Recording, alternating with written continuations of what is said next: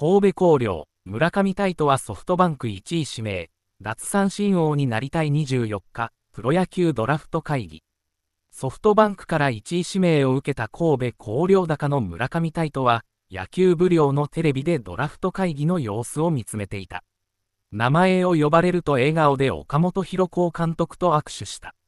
写真、プロ野球ドラフト会議でソフトバンクに1位で指名された、神戸広陵の村上太斗投手イコール2024年10月24日午後5時55分、神戸市北区原野桃江撮影。中学までは保守で高校から投手に、最速153キロの直球を投げられるまでに成長した。しんどかった時期もあった。今は嬉しいと涙した。ソフトバンクの印象について、強くて選手同士仲が良いチームと話した。取りたいタイトルを尋ねられ、奪三振王になりたい。沢村賞と言った。